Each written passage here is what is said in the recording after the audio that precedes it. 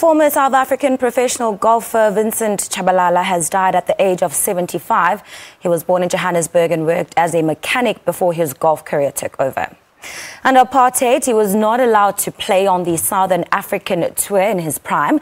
But with assistance from South Africa's leading golfer, Gary Player, Tshabalala gained entry to world tournaments around the world. And in 1976, he won the European Tour's French Open. Later that year, he was chosen for South Africa's World Cup team but refused to take part.